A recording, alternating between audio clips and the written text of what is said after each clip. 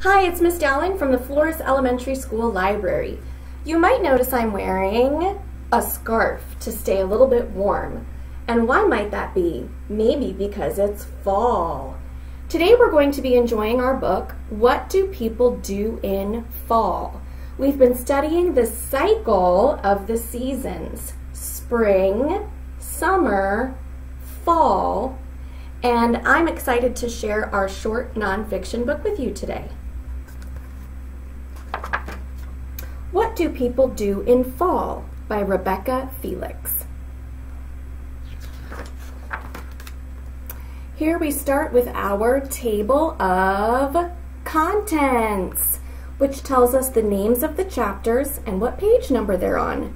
We're going to start with Fall Changes on page 5. Fall Changes. What happens in fall? It gets colder. Days get shorter.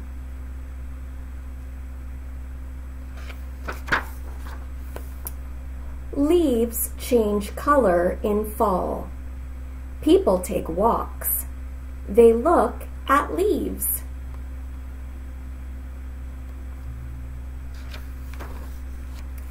Leaves fall.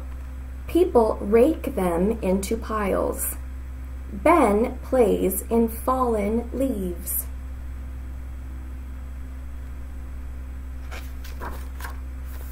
Harvest.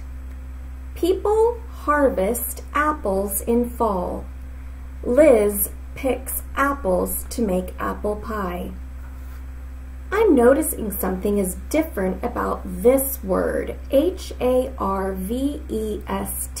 harvest, looks darker than the rest of the words. We call this a bold word.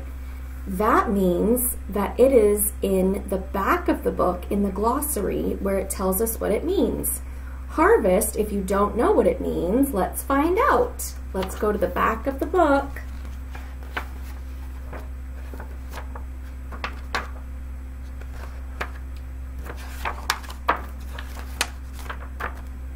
Glossary.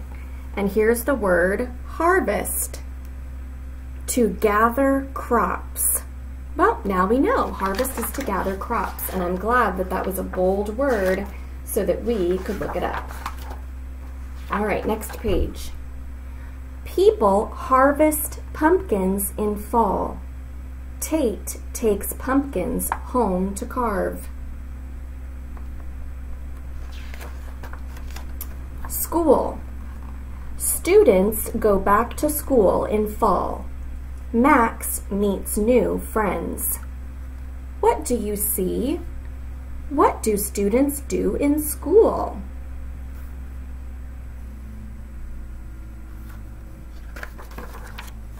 Holidays. Fall has fun holidays. People celebrate Halloween. They wear costumes. Do you see? What foods do you see? People enjoy Thanksgiving. They eat and give thanks.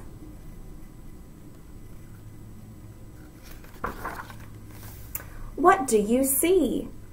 What warm clothes do you see? Warm clothes. Gwen takes out warm clothes in fall. Winter is on its way. Here we have a section about find out more. We have some websites you can go to and our glossary with the words that we might not know in bold and what they mean. Carve, to form or make pieces by cutting. Celebrate, to enjoy an event or holiday with others. Costumes, outfits people wear to look like something or someone else. Harvest, to gather crops. Rake, to gather or scrape together. There's also an index at the back of the book which gives us different topics about fall and what page number they're on. So if I wanted to read more about leaves in the fall, I could go to pages 7 through 9. Thanks for joining me today with What Do People Do in Fall? If we're looking at our cycle of the seasons, and we started with spring, and then we did summer, and then we did fall, what season do you think we will study next? You're right. Next, we're going to study winter. So I'll see you next time for our book all about winter.